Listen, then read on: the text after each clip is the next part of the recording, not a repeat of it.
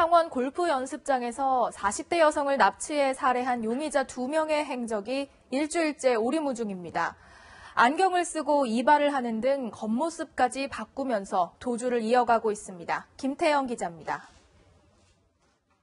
짧게 자른 머리를 확인한 뒤 환하게 웃는 남성. 현금 5만 원을 내고 여성과 여유 있게 미용실을 빠져나갑니다. 창원 골프 연습장에서 납치한 40대 주부를 살해하고 일주일째 도주 행각을 벌이고 있는 강정임과 심천우입니다. 두 사람은 범행 당시 길었던 머리를 잘랐고 강정임은 안경까지 썼습니다. 지난 24일 창원을 떠난 일당은 진주 진양호에 시신을 버리고 순천으로 이동했고 광주의 은행 두 곳에서 410만 원을 빼내는 모습이 25일 포착됐습니다. 다음 날 순천 미용실을 이용했고 27일 경찰 추적을 피해 함안에서 사라진 게 마지막 행적입니다.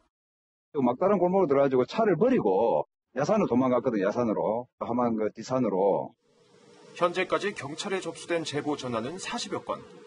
두 건 정도는 신빙성 있는 제보로 알려졌습니다. 경찰은 천여 명을 투입해 함안과 진주, 마산 등을 집중 수색하고 있습니다. 심씨 일당은 이렇게 캄캄한 주차장에서 혼자 외제차를 몰고 온 여성을 노렸습니다.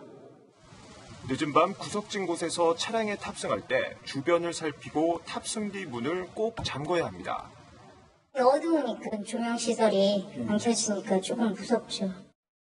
경찰은 피의자 두 명이 추가 변장했을 가능성이 있다며 적극적인 제보를 당부했습니다. 채널A 뉴스 김태형입니다.